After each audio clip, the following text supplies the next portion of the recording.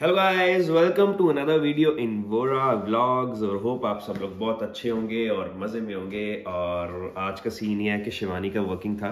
मेरा वर्किंग थोड़ा लेट था तो दोपहर के एक बज चुके हैं। मैं अपना रेडी शेडी होके आ चुका हूँ किचन में और मैं बनाने लगा हूँ रैप तो लेट्स सी कि कैसे बनाते हैं हम रैप और कैसे बने हैं। फाइनली उसका टेस्ट कैसा है और दिखने में वो कैसे लगते हैं। तो सबसे पहले हम रैप्स को निकालते हैं। ये है हमारे कोल्स के रैप कोल्स में बड़े तरह के रैप्स मिलते हैं। ये जैसे सॉफ्ट वाइट रैप्स हैं। और वैसे ही ब्राउन होल मील पता नहीं कितनी की तरह के रैप्स और ब्रेड्स या कोल्स वोलिश में मिलती हैं। तो ये रैप को हमने निकाल लिया और अब हम ढूंढते हैं कि हमारी जो कढ़ाई है वो कहाँ पड़ी है। सो so, होपफुली यहाँ पर होनी चाहिए कढ़ाई। हाँ, लेकिन यहाँ नहीं है। ओ हाँ यहाँ पर पड़ी है कढ़ाई। इस कढ़ाई को हम लेंगे। तो ये कढ़ाई में डाल दिया हमने तेल ताकि ये थोड़ा सा गर्म हो जाए। और तब तक हम निकालते हैं फ्रिज में से आलू टिक्की। ये हमारी है आलू टिक्की। यहाँ पर आलू टिक्की नहीं ज़्यादातर बबल स्क्वीक करके कुछ लिखा होता है। और क्योंकि ये फ्रोजन है तो फ्रोजन चीज़ को हम थोड़ी देर 30 सेकेंड्स के लिए जब माइक्रोवेव कर लेते हैं तो वो थोड़ी सॉफ्ट हो जाती है और वो थोड़ी सी अच्छी बनती है। तो जो हमारी आलू टिक्की है वो मैंने डाल दी है फ्राई करते वो हो रही है फ्राई ये अच्छे से फ्राई हो जाए कुक हो जाए और उसके बाद ये मैंने ऑलरेडी काट लिए है इसके साथ लेटेस है तो उसके बाद हम सारी चीज़ें रैप के अंदर मिक्सअप करके और थोड़ी सी सॉसेस करेंगे ऐड और फिर हमारा रैप हो जाएगा फाइनली रेडी सो so, ये रैप में हमने सबसे पहले ऐड करी है पिज़्ज़ा पास्ता सॉस और अब ऐड कर रहे हैं इसमें मायोनीज़ और ये टोटली आप पे डिपेंड करता है। वैसे तो मैं बहुत बड़ा कोई शेफ़ हूँ नहीं कि मैं आपको पूरी ट्रेनिंग दूँ, लेकिन फिर भी जितना मैं ट्राई कर रहा हूँ, और एंड में बताऊँगा कि कैसा इसका टेस्ट बना है। और इसके साथ हमने मेयोनीज को ऐड करके, और उसके बाद हम थोड़ी सी ऐड कर देते हैं ये ग्रीन सॉस क्योंकि ग्रीन सॉस क्या थोड़ी सी तिखी है और इससे थोड़ा सा अच्छा फ्लेवर आ जाएगा। और इसके बाद हम थोड़ी सी ऐड करेंगे red chilli sauce red chilli sauce से भी क्या होगा?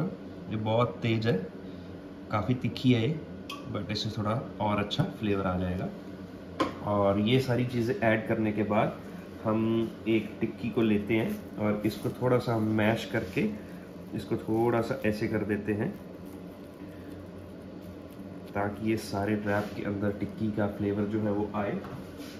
और उसके बाद हम थोड़ी सी ऐड कर देते हैं अनियन और कैप्सिकम अनियन और कैप्सिकम ऐड करने के बाद हमारी एक चीज़ तो रहेगी जो कि है लेटेस इसमें हमने ऐड कर दी है थोड़ी सी लेटेस और अब हम इसको रैप करके जो है टोस्टर में लगा देंगे.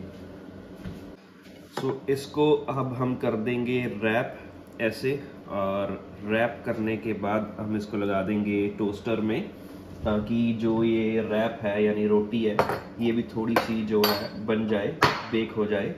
अदरवाइज़ ये बिल्कुल रॉ रॉ लगेगी।